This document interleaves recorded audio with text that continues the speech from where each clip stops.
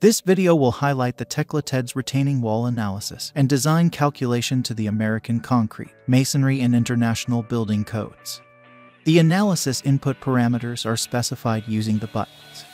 Stability preview results and a live sketch are also shown.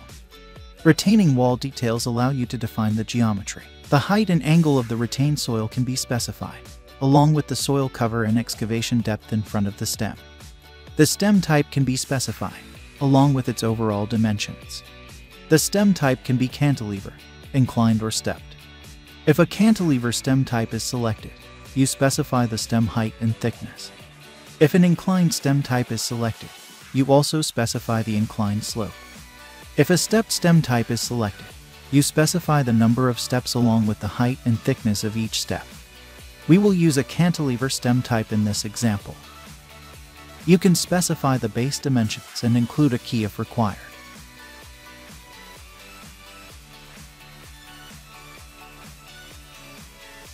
You can also include the presence of any water. A prop can be specified at the stem, base or both base and stem.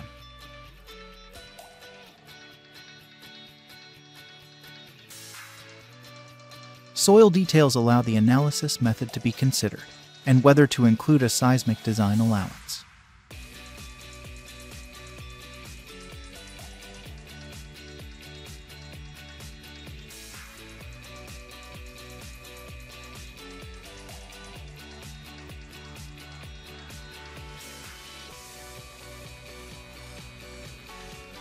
You can also specify the bearing pressure method to be adopted and the retained soil and base details.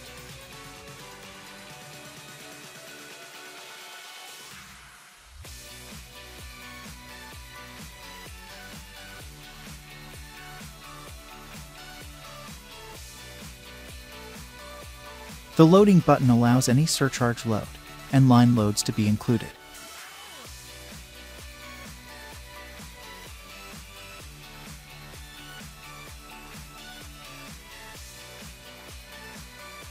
Once a line load is defined, you can add further loads or edit and delete existing loads.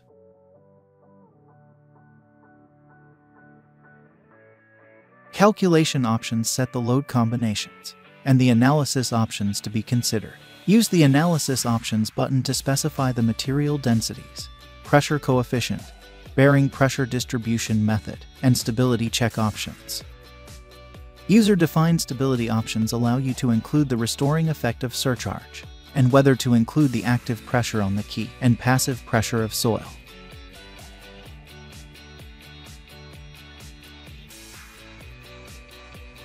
Stability preview results are shown along with a factor of safety and a pass or fail status. If anything fails, the failures can be reviewed and amendments made to the input.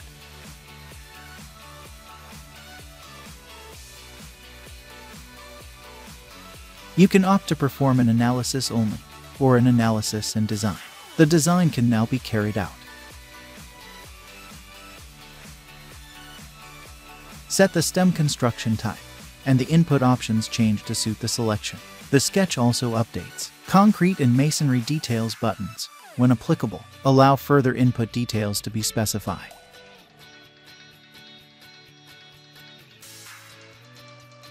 Material and concrete details, along with cover to reinforcement can be specified.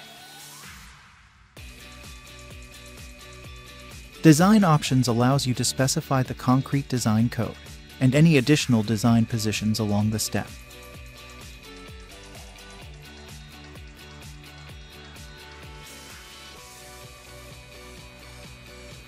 Preview results for the chosen design section are shown along with the specified reinforcement and a pass or fail. If anything fails, the failures can be reviewed and amendments made to the input. Use the design section list to design the remaining regions.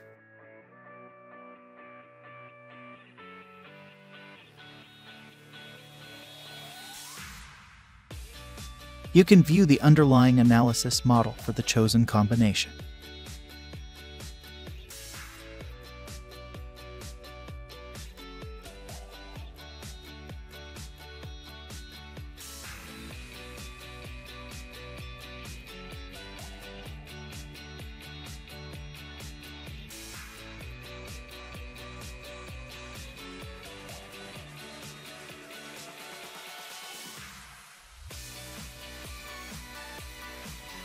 Once you are satisfied with the input and preview results, you can choose the output options. Confirm the information and your design and the calculation output is written to the document.